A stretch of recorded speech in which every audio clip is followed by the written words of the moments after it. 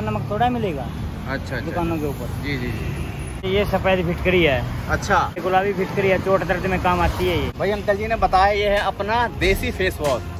दोस्तों आप सभी का स्वागत है हमारी नई वीडियो में। आज हम अपनी वीडियो में दिखाने वाले हैं कि भाई नमक कितनी तरह के होते हैं और उनके क्या क्या फ़ायदे होते हैं। जो आप अपनी स्क्रीन पर देख रहे हैं ये अंकल जी हैं। ये इसी तरह से अपनी इस बैल बग्गी में नमक का काम करते हैं। ये आज हमें बताएँगे कि नमक कहाँ से मिलते हैं और उनके क्या क्या फ़ायदे होते हैं। चलिए फिर मिलते हैं इनसे। नमस्कार जी। क्या हाल है? ठीक है जी। क्या नाम है आपका? कृष्ण कुमार है। कृष्ण कुमार। कृष्ण कुमार जी। अंकल जी क्या काम करते हैं आप? हम नमक का काम करते हैं। अच्छा। सेंधा नमक है काला नमक है समुद्री नमक है हम हरियाणा से हैं। अच्छा। तो काला नमक है जैसे सेंधा नमक है पाकिस्तान का। अच्छा ये समुद्री नमक है अपना गुजरात का। और गुलाबी फिटकरी है कानपुर की।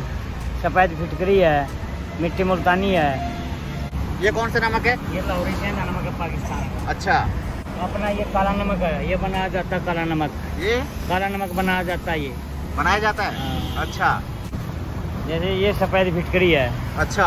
ये बनाई जाती है। कहाँ होता है इसका इस्तेमाल कहाँ होता है कानपुर से आती है। कानपुर से आती है? हाँ ये भी वहीं से आती है। ये भी फिट करी है? हाँ ये गुलाबी फिटकरी है। चोट दर्द में काम आती है ये। चोट दर्द में सूजन में अच्छा। मंजन करने में गरारे करने में चिकाई में ये पानी में डलती है शेविंग में काम आती है। ये मिट्टी मुल्तानी है। ये फेस को लगाते हैं पहले से पहले पहले ज़माने में तो इससे दस बीस साल पहले से इसे तख्ती लिखा करते हैं हम। अच्छा अच्छा अच्छा। और अब नहाने के काम आती थी पहले ये। नहाने के काम आते है? हाँ, फेस पे भी लगाते हैं इसको। भाई अंकल जी ने बताया ये है अपना देसी फेस वॉश आपने इतने ब्रांडेड यूज़ किए होंगे फेस वॉश में लेकिन ये कतई बिल्कुल देसी फेस वॉश है। आप इसको यूज़ कर सकते हैं और वो बढ़िया निखार पा सकते हैं। अंकल का कहना है। ये समुद्री नमक है गुजरात का। ये गुजरात का है? हाँ। अच्छा।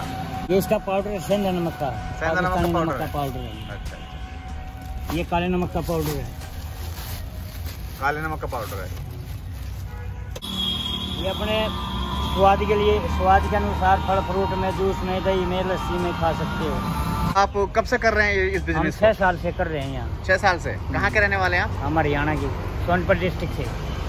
सोनीपत से? गोवाना से गोवाना के पास गोहाना से। हैं। तो आप दिल्ली में ऐसे घूमते हैं तांगे से? हाँ। कहाँ कहाँ घूमते हैं? मैं यहाँ जाता हूँ जैसे ये लाजवंती गार्डन जी। डेली वहीं जाता हूँ। अच्छा। और हम आते हैं पिस्टम बिहार से। पश्चिम बिहार से? हम पाँच छः जने हैं यहाँ नमक बेचते हैं। अच्छा नमक बेचते हैं। हाँ इस दिवाली पर घर चले जाएँगे। जैसा कि आप देख सकते हैं भाई इतनी सारी वैरायटीज़ है अंकल जी के पास और ये इसी काम को छः सात साल से कर रहे हैं दिल्ली की सड़कों पर। बहुत खूब अंकल। इसका प्राइस क्या है? ये? हाँ जी। हम ये पचास रुपए किलो देते हैं। पचास रुपये किलो। देखो ये नेगेटिविटी के लिए भी रखते हैं घर में इसको। अच्छा। और इसको मान ले हमारा पाउडर ये ही पाउडर हमारा है। जी। इसको ऐसे करोगे तो फ़ायदा आ जाएगा। हमारा ओरिजिनल हम खुद पीसते हैं अपना नमक। किस बात मान लो? अच्छा अच्छा अच्छा। खुद पीसते हैं। इसके खाने से ना जैसे बीपी है शुगर है ब्लड प्रेशर सांस दमा अटैक में आराम मिलता है इसको पूरा पूरा। काला नमक इससे बनता है। इसे बना बनाया जाता है इस नमक से। अच्छा। मटकों में भर के अच्छा। इसके अंदर और कुछ डालते हैं आंवला है और कुछ हरड़ है। जी जी। और इसको दही की तरह जमा के जी। और को भट्टी कोल्ले की भट्टी में पका हैं। काला नमक का क्या रेट बताया? अस्सी रुपये किलो है सत्तर रुपये किलो भी दे देते हैं। अच्छा। ऐसा नमक थोड़ा मिलेगा अच्छा अच्छा दुकानों के ऊपर। जी जी जी। ठीक। हाँ ऐसा मिलेगा दुकानों में हम कुछ बेचते हैं अपना नमक देखो काला कितना नमक बिक जाता है आपका? कितनी कमाई हो जाती है? काम नहीं है। हाँ जी? काम बिल्कुल भी नहीं है आजकल तो। आजकल काम नहीं है? ये महँगा होने के कारण नहीं है टैक्स लगा हुआ है इस नमक से। अच्छा। तो कितनी सेल हो जाती है दिन की? दिन में हमारी पंद्रह सौ की हो जाती होगी मुश्किल से पंद्रह सौ की बारह सौ की। अच्छा। ये मतलब आपके जो ये मेहनत कर रहे हो जो लागत है वो निकल जाती है? पहले निकल जाती जब सस्ता था तीस रुपये किलो था। अब हमारे लिए भी कर दीजिए। एक किलो ये कर दीजिए सेंधा नमक एक किलो काला नमक मुल्तानी मिट्टी भी कर दीजिएगा।